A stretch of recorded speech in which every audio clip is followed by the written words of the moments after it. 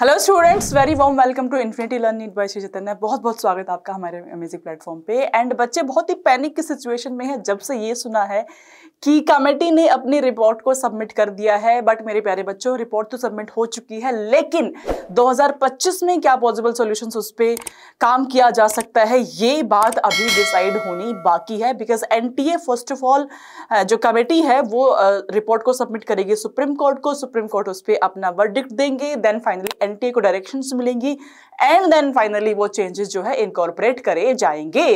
तो जो मेरे बच्चे 2025 वाले स्टूडेंट्स है पैनिक मोड में आ चुके हैं पैनिक बटन प्रेस ऑन कर चुके हैं, उसको रिलीज़ कीजिए, क्योंकि आपके सामने लेकर के आ रही हूँ। क्या एक्चुअल में हम एक्सपेक्ट कर सकते हैं? चार मेजर पॉइंट्स पे बात हो रही है। जो प्रपोजल है, उसमें बात करी गई है। नंबर वन मल्टी स्टेज में पेपर होने की संभावना जताई जा रही है। उन्होंने कहा है कि जो पॉसिबल सोल्यूशन है, वो एक ये भी है कि हम पेपर को टू टायर में क्यों ना करा ले। अब टू टायर का मतलब क्या है, समझिएगा कि पहले आप सारे बच्चों का एक प्री एग्जामिनेशन ले। प्री में जो जो बच्चे क्वालिफाई करेंगे, उसका हम एक मेन्स एग्ज़ाम ले ले। ठीक है, इसी को आप टू टायर कहते हैं। अब आप सोचिए अगर पहले सारे बच्चों का एक प्री एग्ज़ाम होगा और उस एग्ज़ाम को अगर हम ऑनलाइन मोड में कन्वर्ट करके लेते हैं तो प्रॉब्लम यह है कि 25 लाख बच्चों को अक्यूमोडेट करने के लिए क्या हमारे पास प्रॉपर इंफ्रास्ट्रक्चर है? क्या हमारे पास उतने कंप्यूटर सेंटर्स हाल फ़िलहाल मौजूद हैं जिसमें कि हम उस सारे बच्चों का पेपर ले सके? Right right? एक बहुत बड़ा क्वेश्चन है ये कि क्या ऐसा इंफ्रास्ट्रक्चर अगर हुआ then there is a possibility but इस साल अभी तक तो ऐसा इंफ्रास्ट्रक्चर है नहीं, क्योंकि जेई के स्टूडेंट्स का जो नंबर है वो हाफ़ है एंड जेई वाले बच्चों का एग्ज़ाम भी मल्टीपल टाइम्स कराना पड़ता है, क्योंकि उतने कंप्यूटर सेंटर हमारे पास में नहीं है तो इस बात को, इस फैक्ट को, इस लॉजिक को अगर हम देखें तो नीट एग्ज़ाम में इस मोड के होने के चांसेस इस साल बहुत ही मिनिमम हो जाते हैं। सेकेंड पॉइंट है कि पेपर को कंप्लीटली सीबीटी मोड में या हाइब्रिड मोड में कन्वर्ट किया जाए। अगेन जो मेन प्रॉब्लम थी, वो यही थी कि क्योंकि पेपर मेरा ऑफलाइन है पेन एंड पेपर बेस है तो पेपर को ट्रांसपोर्ट करना पड़ता था। First of all printing press में भेजेंगे पेपर को। प्रिंटिंग प्रेस पे लीक होने की चांसेस है। देन उसको ट्रांसपोर्ट करेंगे रिस्पेक्टिव सेंटर्स में। रिस्पेक्टिव बैंक्स में उसको रखा जाएगा, वो एक मेजर प्रॉब्लम है। जो सेंटर है, वहाँ से उसको निकालना, उसको स्कूल तक लेकर के जाना that also involve transport process तो बहुत सारे स्टेक होल्डर होने की वजह से पेपर लीक होने की संभावनाएँ बढ़ जाती हैं। इसीलिए हम सीबीटी मोड को इनकॉर्पोरेट करना चाहते हैं, ये कमेटी ने सजेशन दिया है। लेकिन अगेन क्या सीबीटी मोड को अक्यूमोडेट करने के लिए इस साल हमारे पास इंफ्रास्ट्रक्चर मौजूद है? आंसर इज़ नो सेकेंड है आपका हाइब्रिड हाइब्रिड का मतलब क्या हुआ जी? पेपर को डिजिटली करा लो। लेकिन जो ओएमआर शीट है, वो आप फिजिकली भेज दीजिए। तो आप सोचिए, अगर पेपर को ही डिजिटली कराना है तो इसमें और सीबीटी में कुछ डिफरेंस तो है नहीं।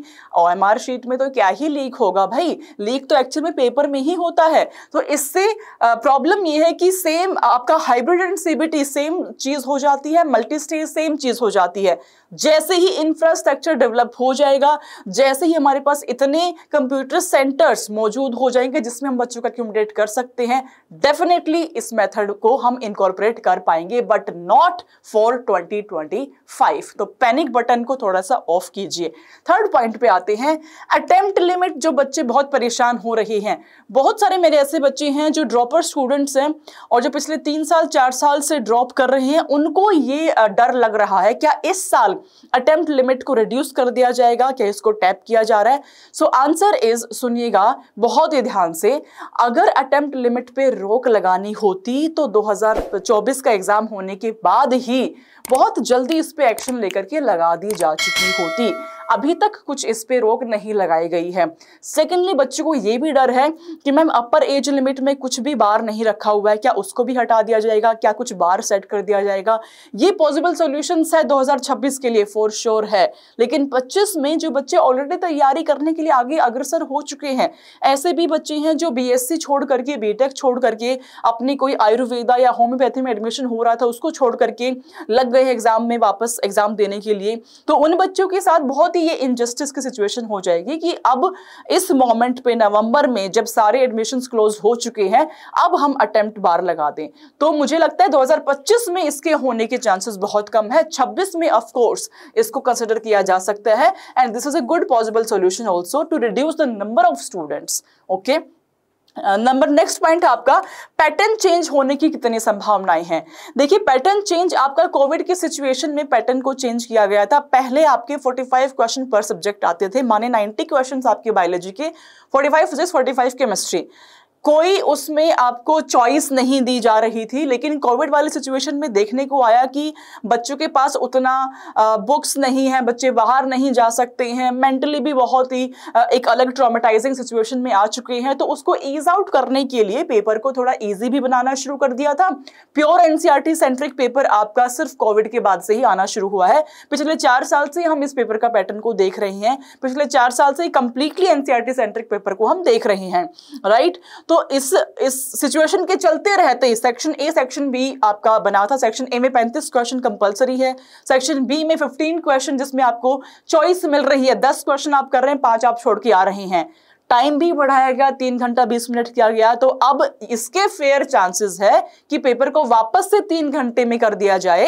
एंड जो क्वेश्चंस का नंबर है, वो भी रिड्यूस करके 45 कंपलसरी क्वेश्चंस आपके कर दिए जाए। इसके फेयर फेयर चांसेस आपके बनते हैं इस साल में। तो 2024 से जो हमें सीख मिली है, उससे 2025 में जो इंप्लीमेंटेशन है, ये जो फोर पॉइंट्स रिप्रेजेंट किए जा रहे हैं थ्रू द कमिटी मुझे लगता है इस पॉइंट के एक्सेप्ट होने के पूरे पूरे पूरे चांसेस है कि आपकी जो चॉइस है उसको हटा दिया जाएगा। तो हमें जो तैयारी करनी है वो इसी प्रकार करनी है ताकि हम कैसा भी क्वेश्चन आए, चाहे पेपर का लेवल थोड़ा डिफ़िकल्ट की साइड क्यों ना चला जाए फिजिक्स को हल्का डिफ़िकल्ट क्यों ना बना दिया जाए केमिस्ट्री को एकदम डीप कॉन्सेप्ट क्यों नहीं पूछ लिए जाए बायोलॉजी को थोड़ा लेंदी क्यों नहीं कर दिया जाए but still we will be able to solve the question यहाँ पे सेकेंड गेम आता है टाइम मैनेजमेंट का, वो बहुत ही एक क्रूशल रोल प्ले करने वाला है।